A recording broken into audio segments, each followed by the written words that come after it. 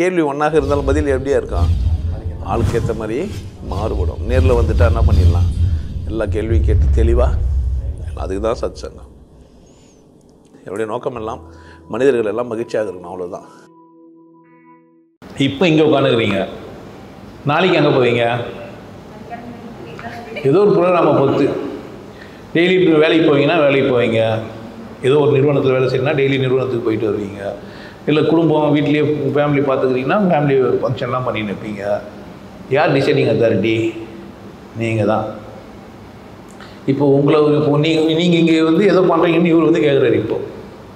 இங்கே உட்காந்து அந்த அக்கா இருக்கிறாங்கல்ல அவங்க நாளைக்கு எங்கே போவாங்கன்னு என்னை கேட்டா நான் என்ன பண்ணுறது சொல்லுங்கள் நான் என்ன சொல்லணும் அவருக்கு.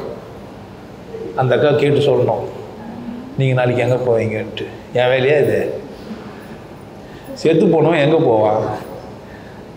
எங்கெங்கே போயிருந்தானோ அங்கெல்லாம் போவான். எங்கெங்கெல்லாம் போயிருந்தானோ அங்கெல்லாம் பண்ணுவான். போவான். ஒன்றும் செய்ய முடியாது. ஆனால் அங்கெல்லாம் போவான். புரியுதுங்களா? என்ன சொல்கிறேன்ட்டு உண்மையாக அதான். எப்படி உயிராக இருந்தால் நீங்கள் எங்கெங்கெல்லாம் போவீங்களோ அதேமாரி செத்தாலும் அங்கெல்லாம் போவீங்க. இன்னும் உயிராக இருக்கும்போது உடம்பு தூக்கின்னு போனால் டைம் எடுக்கும். செத்துட்டா ஆன் தி ஸ்பாட் போய் வருவீங்க. இமிடியேட்டாக போக முடியும் உங்களால். நீங்கள் உட்காந்துக்கிறீங்க ஏதோ ஒன்று நினைக்கிறீங்க எங்கேயோ ஒன்று உங்கள் வீட்டை நினைக்கிறீங்க இப்போ. வீட்டுக்கு போயிட்டீங்க இமிடியட்டாக போயிடுவீங்க. அப்படி தானே மில்லி செகண்டு நிலாவுக்கு போயிடலாம். நிலாவை பார்க்குறீங்க நிலாவுக்கு அப்படின்ட்டு ஒரு முறை போயிட்டு வந்துட்டீங்கன்னா திரும்பவும் போகலாம் அந்த இடத்துக்கு ஈஸியாக இந்த அஸ்ட்ரல் ட்ராவல்லாம் சொல்லுவாங்க சாமியார்லாம் சொல்லி தருவாங்க. அஸ்ட்ரல் ட்ராவல்லாம் சாத்தியம் தான் நீங்கள் உங்கள் மனதை அங்கே அனுப்பிச்சு அங்கே என்ன நடக்குதுன்னு பார்க்கலாம் முடியும். கண்ணு கண்ணு கொண்டு தான் பார்க்கணுன்னு அவசியம் இல்லை. மனம் ரொம்ப விசேஷமானது. கருவிகள் இல்லாமல் பார்க்கும். கனவு காணும்போது கண்ணு இல்லை தானே நமக்கு?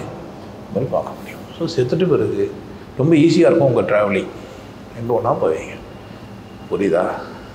ஆனால் இங்கே தான் இன்னொரு பிரிவு எடுக்க வரைக்கும் சுற்றி நிற்க வேண்டியது தான் கொஞ்ச நேரம் அங்கேயும் இங்கேயும் அழிஞ்சிட்டு நீங்களே அடக்கம் ஆகிடுவீங்க அடக்கம்னா எங்கே போய் நின்றுவீங்க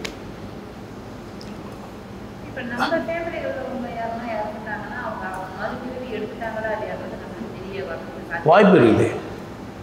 இருக்குது நீங்கள் நீங்கள் ரொம்ப தீவிரமாக அவங்கள ஆர்வமாக பார்த்துனே இருக்கிறீங்க நினச்சினே இருக்கிறீங்கன்னா உங்களுக்கு புரிய வரும். நீங்களும் அப்படியெல்லாம் அக்கறையாக இருக்கிறீங்களா நான் சேர்த்துட்டா மறந்துடுவீங்களே. உயிராக இருக்கும்போதே மறந்துடுவீங்க. கல்யாணம் ஆச்சா புருஷன் இருக்காரா? நீர் இரு அது விட்டுருங்க. இல்லை. இல்ல. நான் இல்லை அதுக்காக கேட்கல சாரி சாரி நான் உங்கள் உள்ளலாம் வந்து இல்லை. நான் இல்லை அது சொல்கிறதுக்கு தான். நான் புரிய வை இல்லை இல்லை என்னுடைய கேள்வி புரிய வைக்கிறதுக்கு மட்டும்தான். மற்றபடி நீங்கள் எப்படி இருந்தாலும் எனக்கு சந்தோஷம் தான் அது பிரச்சனை இல்லை எனக்கு. நீங்கள் எப்படி இருக்கலாம்? அது உங்களுக்கு அவங்க முழு உரிமை இருக்குது உங்களுக்கு ரைட்ஸ் நான் புரிய வைக்கிறதுக்காக தான் இந்த கேள்வி கேட்டேன். விருப்பமானவர் என்னென்ன செஞ்சுக்கிறா நீங்கள் தெரிஞ்சு வச்சுக்கிறீங்களாண்ணா பார்த்துனே இருக்கிறீங்களாண்ணா கிடையாது தானே அப்புறமா நான் செத்தவங்களை பற்றி அவ்வளோ அக்கறை உங்களுக்கு. இருக்கிறவங்க மேலேயே அக்கறை இல்லை உங்களுக்கு. செத்தவங்களுக்கு மேலே என்ன ஆகிடும் மறந்துடுவீங்க. சும்மா பேச்சு. சும்மா இங்கே கேள்விக்காக கேட்குறீங்க. அப்படிலாம் கிடையாது. நினச்சி தான் உங்களை விட்டு போக மாட்டாங்க. நீங்கள் நினைத்து கொண்டே இருந்தால் அவர்கள் உங்களை விட்டு விலகுவதே இல்லை. உங்கள் கூடவே இருப்பாங்க. அதுதான் செத்தவங்களெல்லாம் ஃபோட்டோலாம் வச்சு மாட்டி சாமியெல்லாம் கும்பிட்டு நிற்பான் புரியுதுங்களா? புரியுதா? உங்கள்கிட்ட போக மாட்டாங்க. படம்லாம் எடுத்துருப்பாங்க. புனர்ஜென்மம். நிறைய படங்கள்லாம் எடுத்து காமிச்சிருக்கேன் பாட்டெலாம் கூட வருமே அடுத்த பிறவி ரெண்டு பேரும் சேர்ந்து வருவாங்களே. நம்பியார்லாம் இருப்பார். சாவிச்சுட்டு திரும்பி வரலாம் பிறப்பாங்களே. புனர்ஜென்மன் ஒரு படம். நிறைய படம் எடுத்துக்கிறாங்க அதை சார்ந்தெல்லாம் சி சிஜே ஜங்குன்ற ஒரு ஆராய்ச்சியாளர் கூட அதை ஆராய்ச்சி பண்ணி சொல்லிக்கிறாரு. அதனால் செத்துட்டாங்கன்னா பிசிக்கல் பாடி விட்டு வெளியே போயிட்டாங்க அவ்வளோதான் அது ஒரு சின்ன சம்பவம். உறங்குவது போடும் சாக்காடு. இங்கே தூங்கிட்டு இன்னொரு இடத்துல எழுந்துக்க போகிறாங்க தட்ஸ் ஆல் மற்றபடி நீங்கள் உயிரார்களே கவனிச்சுன்னு கவனிச்சு இல்லை என்ன சந்தேகப்படுற புருஷனோ சந்தேகப்படுற பொன் பொண்டாட்டியை மட்டும்தான் ஒருத்தர் ஒருத்தர் கவனிச்சு நிற்கிறாங்க அது கூட சந்தேகப்படுற மாதிரி நடந்துக்கிறாரா இல்லையான்றதுக்கு மட்டும்தான். அதர்வைஸ் அவங்க மேலே மற்றதெல்லாம் அக்கறை எடுத்துக்கிறது இல்லை ஸோ தட் சராசரி ஃபேமிலி வந்து கப்பல்ஸை விட இவங்க கொஞ்சம் விசேஷமானவங்க. ஏன்னா அவங்களே கவனிச்சு நிற்பாங்க எங்கே போகிறாரு எங்கே வராரு செருப்பில் என்ன ஒட்டிக்குது யாரை கூட ஃபோன் பண்ணுறாரு ஃபோன் எடுத்து பார்க்குது இதெல்லாம் பண்ணுவாங்க. சரியா? அவங்க நல்லதுலாம் கெட்டதுலாம் என்ன கேட்காதீங்க. கவனிச்சிருக்கிறாங்க ஸோ கவனிச்சா பிடிக்குமா உங்களுக்கு? கவனிச்சிட்டே இருந்தால் பிடிக்குமா? குசு கூட விட முடியாது. கொஞ்சம் யாரும் கவனிக்காமல் இருந்தாங்கன்னா குசு விட்டுலாம் டக்குன்னு.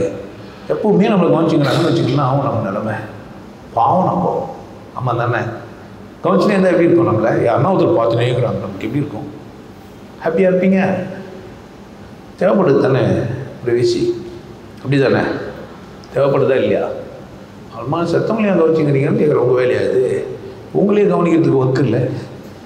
துப்பு கேட்டு போய் செத்தவங்களை வச்சுக்கிறேன்றீங்க நான் இன்றி போவதே நன்றி உணர்வு என்பதை விரிவாகவும் தெளிவாகவும் நம்ம எல்லாருக்கும் புரியும்படியும் பதினாறு தலைப்புகளில் கொடுத்துருக்காரு. என் பிரச்சனைகள் இவை அப்படின்னு சொல்லி நீங்க ஒரு பட்டியல் போட்டுட்டு இந்த புக்கை படிக்க தொடங்குனீங்கன்னா இந்த புத்தகத்தை படிச்சு முடிக்கும் போது உங்க பிரச்சனைக்கான தீர்வும் தெளிவான சிந்தனையும் உங்களுக்கு கிடைக்கும். இந்த புற அடையாளங்களை வச்சு நம்மளை நம்மளே பத்தி தெரிஞ்சுக்க முடியுமா அப்படின்னா கிடையாது. அதுக்கு ஒரு சரியான வழிகாட்டுதல் தேவை. அப்படி ஒரு வழிகாட்டும் புத்தகம் தான் நீதான் கடவுள். நம்ம சிவயோகி ஐயா எழுதின புத்தகம். இதோட இன்னொரு சிறப்பு பாத்தீங்கன்னா சிவயோகி ஐயா இதுல தன்னோட கருத்துக்களை புகுத்தாம திருவள்ளுவர் கூற வந்ததையும் திருக்குறளோட தன்மையையும் அதோட ஆழத்தையும் நமக்கு முழுமையா கொடுத்திருக்காரு. தமிழ் உணர்வுள்ள மனிதர்களால் உருவான மொழி.